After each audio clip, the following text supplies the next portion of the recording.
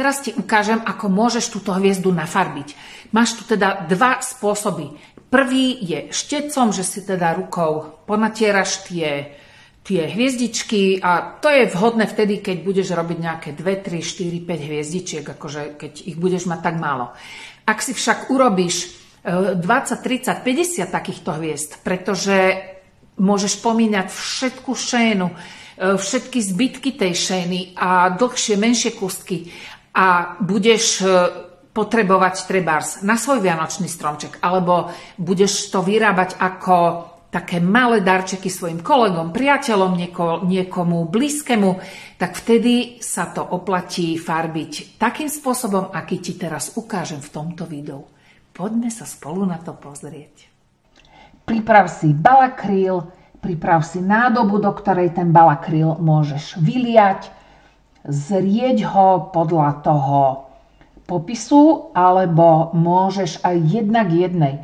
Je to všetko len o tom, koľko tých hviezdičiek budeš farbiť. E, čo sa týka potom naliepania týchto mašličiek tavnou pištolou, rob to až na druhý deň, pretože tie hviezdičky potrebuješ mať úplne, úplne, úplne suché, aby ti tam tá mašlička dobre držala. No a teraz už keď je tá hviezda takto omotaná, tak v ďalšom videu ti ukážem, ako si ju môžeš Hviezdu zafarbíš, zoberieš štavnú pištol, urobíš mašličku, dáš e, špagatík, zavesíš na stromček a máš hotovo.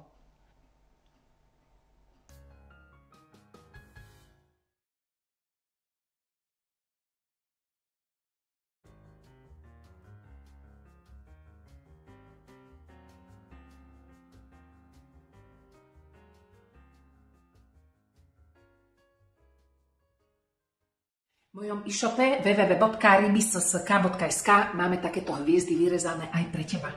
Tu dole v popise si klikni na odkaz, ja ti tam dám priamo odkaz na túto hviezdu a môžeš si ju objednať. No čo hovoríš? Môže byť? Že je to jednoduché.